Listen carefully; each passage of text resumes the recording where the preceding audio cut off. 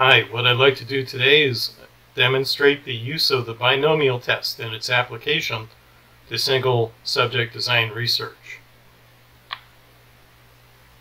Now, you already have a bunch of different tools for single subject design research analysis.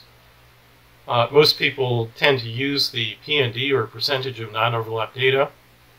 The PEM, I think, is superior to the PND. That's the percentage exceeding the median either uh, in either event, uh, if you already have your data charted out in a graph, then computation of the binomial test is pretty easy to do if you have access to SPSS. So what we want to do is we want to graph out the data. And in my previous uh, uh videos, I demonstrate how to do the PEM and the PND. So we're going to use those graphs from my prior videos uh, you can check those out if you're interested. Here's a uh, set of fake data. And the question is whether or not the treatment phase data points are on the favorable side or unfavorable side of the median of the baseline. I think using the median here is a good idea. Uh, better than using the best score from the baseline, which would be the PND approach. You could do it either way. But uh, I have a preference personally for using the median of the baseline. So we take the uh, baseline median, which is 14, insert a horizontal line there. And for each data point in the treatment phase, we're going to count it as yes or no in terms of whether it is on the favorable side or not. For this hypothetical, higher scores are better. So we have 1, 2, 3, 4, 5, 6, 7, 8, 9, 10 data points that are better than baseline. And if it falls right on the baseline, then it counts as a no. So we have 1, 2, 3 treatment phase data points that are not better than baseline median. And that's really all there is to it. Now, you don't take a proportion here as you would if you were doing the PND, but rather what we're going to do is we're going to enter it into SPSS and do the binomial test uh, in that way. So let me pop out of PowerPoint, open SPSS, and you can see that I've got an empty data field here. I'm going to create a variable, doing this from scratch. I'll just call it data. That's all you need. And if you recall, we had 10 values that were favorable compared to baseline of the median, and three that were not. So the, the ones that are favorable will be given a, a value of 1, and those scores that were unfavorable will be given a value of 0. Hence the binomial nature of the data. And basically what we're going to do is we're going to compare this against the null hypothesis that each of those data points could have been on either side of that median line. So if we have a whole bunch of data points on the favorable side, that will begin to, to uh, reduce the p-value and tell us that um, eventually, if we have enough of them, that it's significantly different from chance. So we had uh, 10 ones and 3 zeros. I'm going to put the zeros once, uh, rather first, and then 10 ones. So these data points here, these zeros and ones, are simply reflections of these values right here. Now, before you analyze the data, SPSS makes you go through a couple of steps. So let me show you that.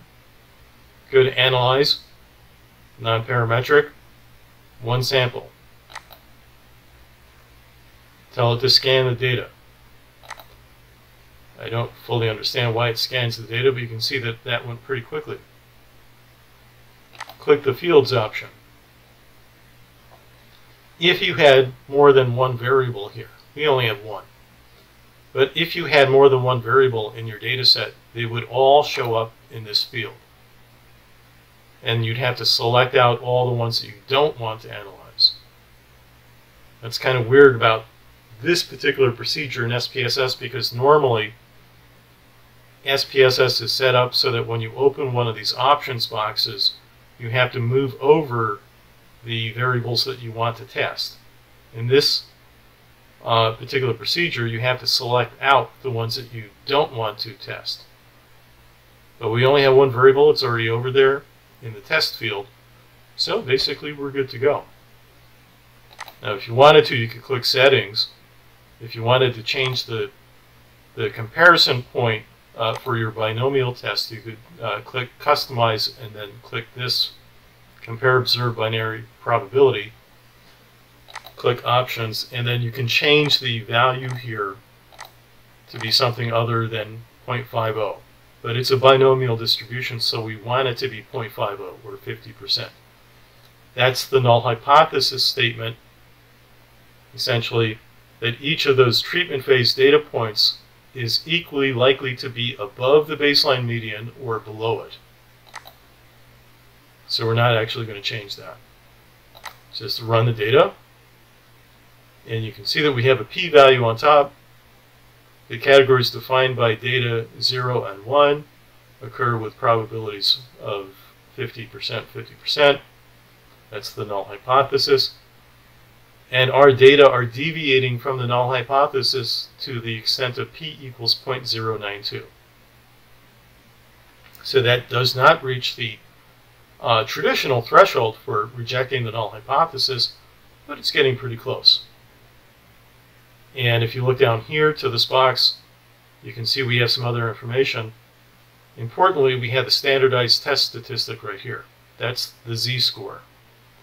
The z is negative 1.664. And in fact, I'm going to ignore the negative sign because uh, the only thing that I care about is whether the treatment phase data are on the favorable side or not. And th in this instance, they are. The negative simply, I mean, it depends on which way you code the zeros and ones. So it doesn't ha really have a meaning. And then you get a couple of figures that aren't really very informative. If you wanted to, you could show this bar chart, but it's, it's not very useful. So that's it. So go back to the uh, PowerPoint. And in terms of charting out the results, uh, the binomial test result here is z equals 1.664. Notice that I'm ignoring the negative sign because higher scores are better and these treatment phase data points are on the favorable side. I suppose if I coded it reverse so that yes equals uh, 0 and no equals 1, then it would not have been reversed. It would not be a negative z-score. If it goes in the predicted hypothesized direction, give it a positive. If it goes against, if it makes people worse, if the treatment makes people worse, then give it a negative. Now, one of the interesting things here is that, uh, okay, you've got a z-score for the binomial test.